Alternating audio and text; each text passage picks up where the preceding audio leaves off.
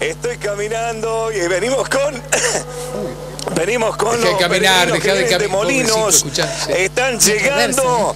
Son 350 aproximadamente. Vienen acompañados por efectivos de...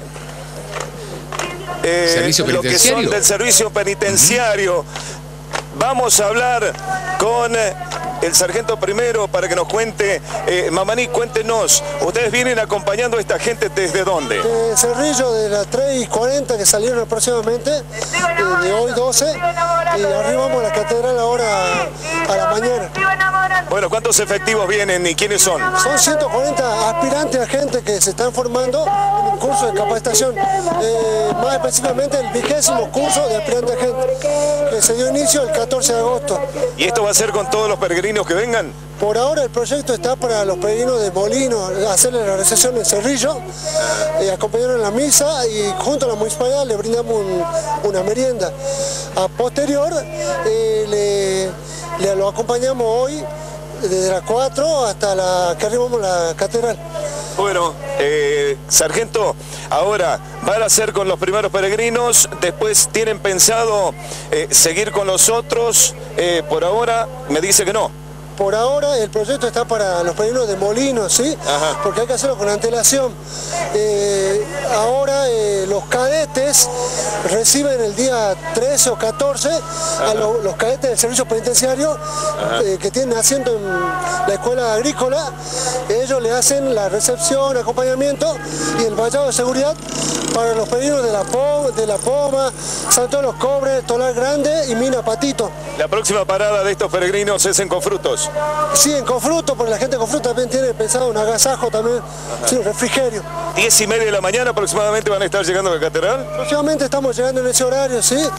Una de las labores fundamentales del Instituto de Formación es que ellos enantezcan esos valores que por ellos tienen sumergidos, eh, desencontrados, olvidados, eh, los valores para que ellos sean personas bien el día de mañana y sean excelentes personas penitenciarias. Vamos a preguntarle. Señora, qué gusto. ¿Cuántos años tiene? 67. 67. ¿Y cómo la lleva? ¿Bien? Bien, salud de allá, Salió con mucho gusto de allá. ¿Con quién salió? con mi hijo. Mi hijo y una nieta. Y la nietita. ¿Usted hace siempre este trayecto? Los primeros años. ¿Es la primera vez que lo hace? Y ya está ansiosa seguramente por llegar a la catedral. Estoy emocionada por llegar al pie del Señor. ¿Está con hambre, con sed? No. Ya, ¿Los atendieron bien en el camino? Gracias a Dios, sí. Muy bien, vamos a ver. Gracias señora, ¿eh? Muchas gracias. Vamos a ver si podemos hablar acá con los chicos. A ver. Hola, ¿cómo te va? ¿A qué hora llegan a la catedral? A las 10 y media tenemos horario de entrar. Bueno, ¿dónde se van a quedar? El- la mayoría se vuelve a Molino a, la- a las 5 de la tarde, pero otras ya se van a la casa de familia. Ah, van a casa de familia. Ahora ustedes llegan y ¿a dónde van? Nos dirigimos al, medio, al centro de la plaza y de ahí nos vamos. El resto se va a las casas de su familia y algunos ya se vuelven a Molino ¿En qué se vuelven? en un camión de la municipalidad. Bueno, ¿no vienen con animalitos?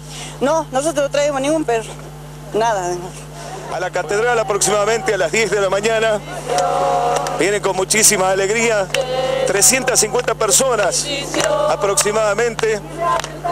Seguramente la gente lo está viviendo como nosotros allí en su casa.